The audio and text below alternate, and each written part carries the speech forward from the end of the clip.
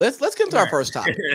don't over don't overthink the room. And sometimes when you're 30 and you're trying to figure out can you say P, you're just overthinking the room. Yes, you can say it. It, it, it. no one cares. So we came on here last week, and I, I tried to say that the Buccaneers may struggle with the Eagles. The Eagles could keep it close. I, I trusted Bill Belichick too much, although I understood that their roster was nothing like the Bills roster, and their rookie quarterback, cold game, playoffs from Jacksonville, Florida, played at Alabama. Come on, come on, big baby, you know better than that. I underestimate. And, and, hold on, hold on, monologue, monologue, monologue. Right, right. And and and then what's the other game? And then the Chiefs Steelers. I go, nah, the Steelers defense, they're gonna bro. Big Ben in the third quarter had 98 passing yards. At the end of the third quarter, he had 98 passing yards. And that's who Big Ben's been all year. But I'm not gonna lie to you, to, to y'all, to the, to the to the listeners. When you come on here and you talk about this stuff all the time, sometimes you don't want to say the obvious thing because you're like, hold on, let, us think about this. Let's try to find like, let's try to find uh, something that nobody else may be saying or a way of thinking that nobody else is thinking about right now. And you get yourself in trouble because sometimes y'all get mad at, at the Stephen A's, the Cowherds, the Nick Wrights, the Skip Baylesses where you think they're just talking crazy. But honestly, you're trying to find an edge, a corner that nobody else is on. And then you end up realizing, hey, bro, it's a reason why everybody wore white forces because they hard. like there's no substitute for a crispy pair of white forces. I don't care if you if you got five dollars in your pocket, you got five billion. Like if you put on a pair of crispy white, brand new white forces, anywhere you go, that's P. Push so I'm gonna say don't overthink the room. Parlay P, why did you let me overthink the room last week? I I look, I well, I tried to warn you about the Bucks. You know, I I I think that the question that everybody had to ask when it came to the Eagles was more along the lines of, okay, hell, we saw them in the first game of the season. They're like, okay, you know, is this just how bad the Falcons really are, or is this like kind of like what the Eagles are going to be like this year? And I think they finished the season more like that team that we saw in the first game. So mm-hmm. they came in with the momentum, and then even though they got waxed in the last game, now granted Jalen Hurts didn't play, but they did still get waxed. Everybody else played, and it's not like uh, Gardner Minshew's a god awful backup. You know, he's a competent enough backup to where if you're in a division rivalry game and you're you've already got playoffs locked up, you still want to kind of send a message or even beat them to where you maybe you get to play them again the following week. I don't know, like, um, but um, I think that when it came to that game, I definitely warned you. I warned you about the Bucks. Now we were drinking the same Kool Aid when it came to the Steelers, and I think with the Steelers, my thought was just that you know, like that, the Steelers defense is still pretty good. They've got good. They have the defensive player of the year on their team. They've got Minkah Fitzpatrick. They got Joe Haden. They've got like these guys. Like they've got guys. Tom Mike T is still the coach, and Ben's on his last. You know, it's it's his. uh you know, it's his last ride. And so it just was kind of like they can show up enough to cover a two touchdown spread. And like I said, they did get close for what it's worth if they didn't get blitzed for eight minutes. Um, but they did get blitzed. And we knew that that's who they were in reality. And we knew that's who the Chiefs really were too. We know that that's who they are. We know who Patrick Mahomes is. You know, he he doesn't get crowned for no reason. Like that's a bad motherfucker. Like he's throwing that he's he can he can throw that rock. Like you know what I mean? And um and Andy Reid is going to put him in a position to throw that rock in even better situations. So that one, you know, we, we just got to take our L and, and, and say that we overthought it. And now we know going forward. And with the Bills game, too, similar thing. I think that we thought that Bill Belichick was super P you know, because he's been P his whole career. like, you know what I mean? And I think that for me personally, when it came to the Bills, I like the Bills. I like I like Josh Allen and I like the Bills.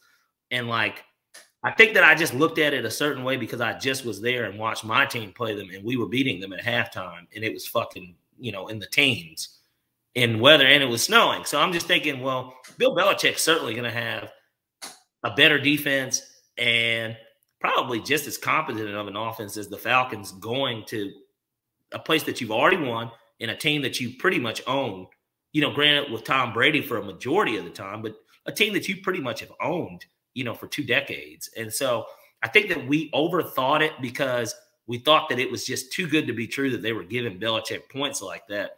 When in reality, the Bills are just they're the real deal. And I think that when we see this upcoming week when those two teams play each other, Chiefs and um, Bills, we're probably going to get probably the best playoff game potentially. And I know the NFC and AFC championship games are always normally good.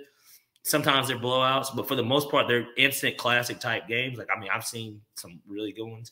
Um, but like uh, like the first one that comes to my mind is Saints Vikings. Like I'll never forget that game. But um, great game. Falcons beating the Vikings in '98. I remember being a kid watching that. Um, but nonetheless, I think that we're going to get one of those instant classic type games because of how Kansas City got beat, and so hopefully we don't overthink next week or this week end coming up. Hey, you know, real quick, let's be Falcons homers real quick, like we like to be. I remember back to that 98 season and all the commentary coming off of it, and everybody talks about how we ruined the Vikings 15 in one season. Did you not realize that we were 14 and 2? It's not like we were a, 11 and 5 team going to the NFC Championship. We were probably the only time in NFL history that a 14 and 2 team was a two seed. right. Like, we you know, and, and, we've seen 13 and 3 and 12 and 4 wild cards, right? Yeah. But I don't think we've ever seen a 14 win team be a number two seed. Like, hold on, a 14 and 2 team is a dog in the NFC Championship. yeah. And and I would be interested to look up exactly what the lines were back then. But I have to imagine, obviously we covered because we won, but I would have to imagine the Falcons were probably almost a touchdown dog, almost like minus six, five and a half, something like that. Like because what because that's that's that's back in the days where home home field gives you three, and yeah. everybody well, they still use that today. That home field automatically gives you three. Well, listening to Bill and Sal this week, apparently it's dropping to two and a half now. Really? Yeah, that th- they said it. I believe it. Like I, I, I trust cousin Sal when he talks about like the nuances of Vegas. Isn't that, even, isn't that even scarier than with the 49ers spread last week against the Cowboys? I couldn't believe I just couldn't believe it because I'm like the 49ers aren't a team that gets blown out. So I guess I just didn't understand why they were giving them three and a half. I, I don't know. I thought that was relatively easy pick. like, you know what I mean? Like, and we know who the Cowboys are. So that's that's a little shocking that they're even well, and you know, actually it makes more sense. Because if it was three and a half, two and a half makes it six. Fair. Hey, so let's let, let let's let's go back to these three games, right? In in our don't overthink the room. Uh, let's go to to to Bucks Philly first. Phillies came out and they said that they're going to keep Jalen Hurts as their starter they got they got three first rounders. Um, I think that Jalen Hurts is good enough to be your starting quarterback. He had a terrible first playoff game, terrible first playoff game. Let's be honest. Expected. I, I expected it. He's a he's a second year player in his first full season starting. Um, he's not the refined passer that you'd like to have. Uh, seeing as as he got benched by Tua, who is barely an NFL starter anymore if we're being honest.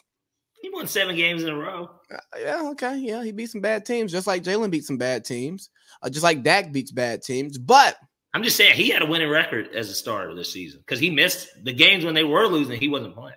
Well, he had, he Tua has a, has a, has a winning record as an NFL starter. Let's be, let's be if we're being honest. But we we watch the eye the eye test does matter. But I look yeah. at Jalen Hurts right, and I, I saw that Nick Sirianni finally decided in the towards the end of the season, middle to the end, to actually run a Jalen Hurts offense. At first, he wanted to run his offense outside of the first game of the year, from game two to like game nine. He wanted to run his own offense. And then he finally figured out let's run the Oklahoma offense for Jalen Hurts. Now, what I'd like to see is if you're going to really put your faith in Jalen Hurts, you double down on Jalen Hurts just like Baltimore doubled down on Lamar Jackson. Because when Lamar Jackson came in, we didn't like him as a passer. And each year he's gotten better. This past season, yes, he was hurt, but each year Lamar has shown improvement, right? Yeah. Hey, every year Jalen Hurts has shown improvement. We see things, we see things from him that that shows us that he has potential. But I think because we live in this microwave society of everybody's supposed to be Joe Burrow when they come into the league. They're supposed to be Andrew Luck when they come into the league. That's not the case. Some of these guys need three to four years to actually figure out who they are because especially as a as a quarterback with great feet, a great runner, your natural instinct is to be the best athlete on the field, not be the best passer on the field at times. Because being the best athlete has been what's helped you out so much. And talking to some people who um who have a good understanding of what Jalen Hurts is, uh, the question was asked, "Hey, what should give me optimism about Jalen Hurts moving forward?" Quick answer: His character, who he is. He works hard. He understands it. He's accountable, and he takes his sure. he embraces his flaws, and he goes and works on them. So I think year two in Sirianni's system, a good offseason that Philly's going to have a chance to battle for that division next year, uh, as long as they go all in on Jalen Hurts and they're not one foot in, one foot out. I think it just depends on what happens with Dallas. First of all, like I think that's going to be a big deal. Um, if they keep Mike McCarthy, I think it definitely opens that door for sure. Um, but my thing with Philly is this: you're in a position now where this offseason is probably your most important offseason since you decided to go with Carson Wentz over Nick Foles after you won the Super Bowl. Oh, um, and really, actually, no, because the very next year they made the playoffs, and Nick Foles won them another playoff game, and then that was when Nick Foles went to Jacksonville and they signed Carson Wentz to all that money. And you made a great move. I mean, look at how much the Eagles fucked the Colts. Not only did the Colts not make the playoffs, they don't get the pick. They gave them a first round pick, and you did make the playoffs when this was supposed to be a rebuild year. Now, the question will be do the Eagles take that step back? You know, what, whether it be Jalen Hurts' progression doesn't, he doesn't necessarily get that much better. And then the teams around them get better. Like, I mean, Washington's going to be better. I if think. they get a quarterback. Depending on what happens there, they're going to be better. Um, who else is in that division? Um, the, the Giants. Giants. Yeah, there's nah, they look like dog shit, but who knows? Who knows? I mean, Russell Wilson is out there, and I think we all know that Ciara wants to grow that brand a little bit more. Uh, we'll she ain't did since Body Party. Uh, hey, hey, we were in college. Yeah, yeah, but you know, when I think of Ciara, I don't even think of her music. Then I think of her music. I know the music video, you know, but uh, I think of, I think of Rod. I think Boink Boink said that he he's got he's got a love for that that uh, body party video. Or yeah. was it the ride video? Nah, both of them are both. I don't know. Are like he said it was damn near soft. I mean, porn to him. Like but, if, uh, you, if, you, want to talk about soft core porn, that's allowed on fucking cable TV. You know it. Hey, I see why Russ listens to her. well, yeah, you know, and Future, Fifty Cent, Bow Wow, um, Reggie Bush, Reggie, Bush, host of guys, host of guys that you know, they liked it too, and they saw and they wanted to see if it if she could do I, it on the dick. But um, you know, you know, I I I I leave my current situation for that. I think I think it'd be understood. Yeah, well, you know, a lot of men would, a lot of men would, but um, nonetheless. I think that with Philly, it's going to really come down ultimately to what they do this all season. You got three first round picks, albeit they're all jumbled up at like 14, 16 and like 18 or something like that. They're jumbled up, they're middle to kind of late. Um, but it's a bad quarterback draft. But you've also got a guy too that that showed improvement that some people would take a chance on. So for me, if I'm Philly, the first thing I'm trying to do is I'm trying to get one of them whopper quarterbacks. You know, I want I want Watson, Wilson, Rodgers. I I'm I'm doing everything I can to package Hurts. That way they've got somebody. Like if he goes to Seattle, Seattle would have to figure out what they're going to do, whether they draft a guy or they want to take a chance on a guy like Hurts. I would be trying to package him in a deal along with probably two of those picks. If it took all three to get, if it's Russell or Aaron, it's worth three. Yeah, I was to say I'd be willing to give up those picks to. I, and Deshaun too. Like, who, who am I bullshitting? Yeah, I don't think Caserio wants uh, Jalen Hurts though. And Watson would be really who you. I mean, ideally because he's the youngest, and we know he's a fucking baller. Like we know that Deshaun Watson's a baller. The Eagles have good enough pieces to where he could to be very successful up there. Um, so if, if I'm them, that's what I'm trying to do. Like I don't want them to overthink the room themselves. as an organization and look at, you know, we got this, but we've seen so many teams take step backs. Hell, I bet a bunch of people looked at Blake Bortles after they went to the AFC Championship. He threw like 38 touchdowns that year and 15 picks. He wasn't god awful. And I know what you're saying. The eye test told you something different. But the Jaguars had a dominant defense. They won 11 games. He did throw like 38 touchdowns. Got uh, what's his face paid up in Chicago, which now he wants to get out of there too. Allen Robinson got him paid. Um, who's the other wide receiver? They had another wide receiver too. Bro, um, they, it was they, they, Robinson and somebody else. They paid they paid him after that though, which was fucking stupid. You didn't even have to pay him. Yeah, and so, but I'm just saying. Now, look, everybody thought that he was building on something, and that was like year two or three for him. And now what? But, Blake Bortles is like out of the league.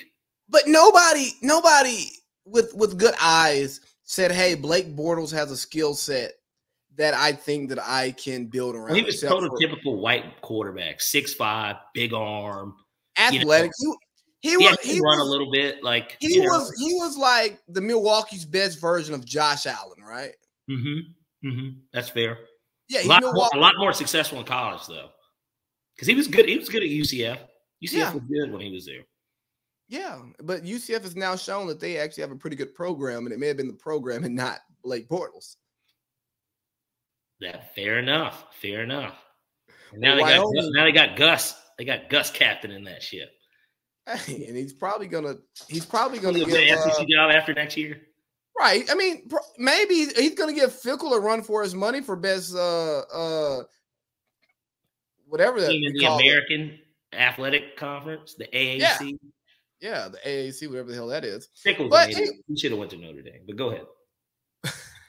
But anyways, uh, let, let, let's get another thing that happened in this game. This, this Bucks, this Bucks Eagles game is uh, uh your boy BA Bruce Arians, idiot. He slapped he slapped the player in the back of the head.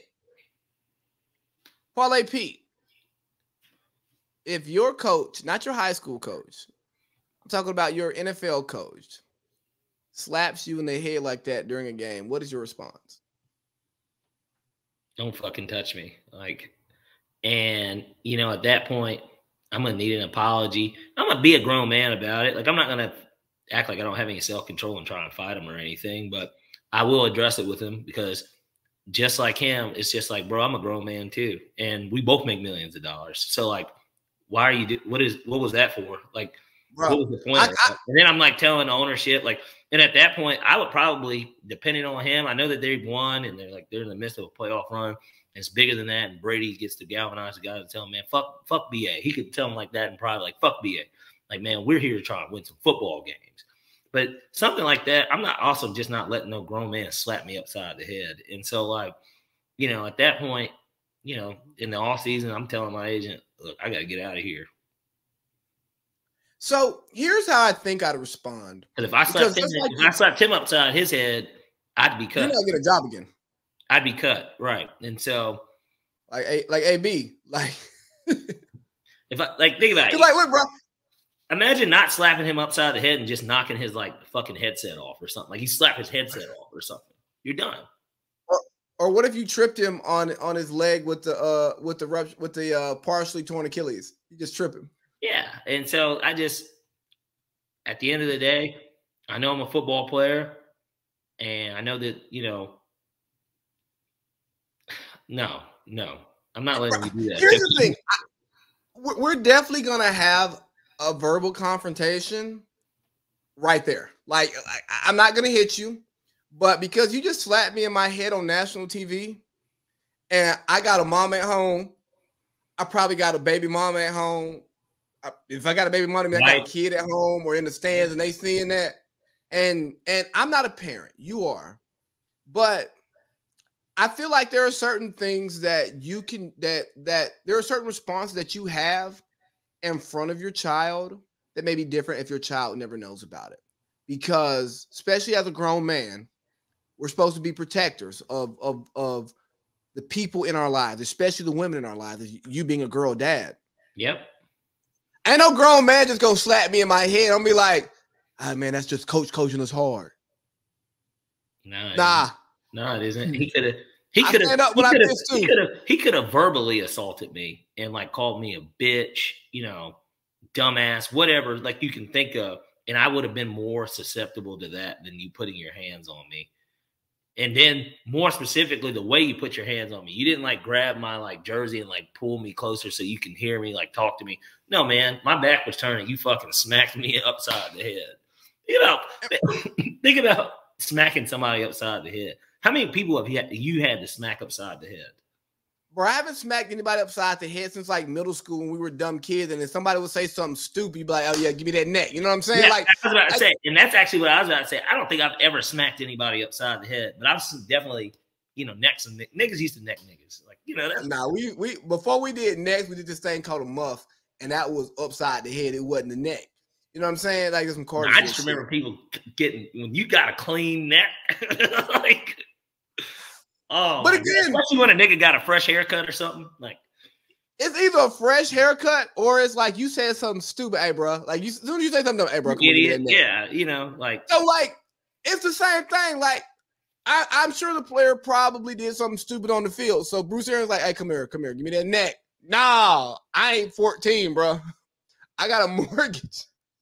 I got a rollie sitting in my in my, my, my uh, more, locker right now. More importantly, I know people because it's a game. Everybody looks at it this way. That's still the nigga's job. So he, he's on the job. He's on the job. He's there getting paid. And this is what he's he's basically saying that they're the Buccaneers pay me to do this. The Glazer family pays me to do this. No, they don't. No, they don't. They don't pay him to do that. That was like, like a, you got like a fifty thousand. I can see a guy like BA crazy enough retiring after this year. I and maybe this speaks to something that everybody talks about BA being a player's coach, but you've listened to enough bits from BA uh, uh, press conferences. BA shits on everybody, and and yeah. BA has this aura about himself that that he's that guy. You know, like some of the stuff that he would say about Jameis, I'm like, ah, oh, that doesn't really sit right with me. I wouldn't like that. But Jameis did do the 30 for 30. And I ain't talking ESPN, we talking picks and touchdowns. then he comes out and he hits Brady with the well, that's not how we practiced it. Like, BA, what do you think you are? You talk like this is this is that's great. Tom Brady. Yeah. Like, like he, he's not like Aaron Rodgers, who we love his talent, only has one ring. Like Brady got the rings, he got the MVPs. Like he has everything that he has more of everything almost than anyone. Yeah, right. Like you need, you need, to relax. You don't talk there's to him. Not, there's not a more accomplished player in the NFL. No, ever. In, in, any sport except for maybe Bill Russell, but Bill Russell didn't play in the modern era, so I don't. J- Jordan's pretty accomplished. I put Jordan. I mean, he's only got yeah. one less championship, yeah. but like Jordan Fair. won MVP like like it was five times. Yeah, and he kind of like LeBron, and not to get into basketball like that, but kind of like LeBron every year that he didn't win, he realistically, if he wasn't him, won. he really would have won it. But you know, like yeah, yeah. So it's like, hey man, you need to watch how you talk to Brady.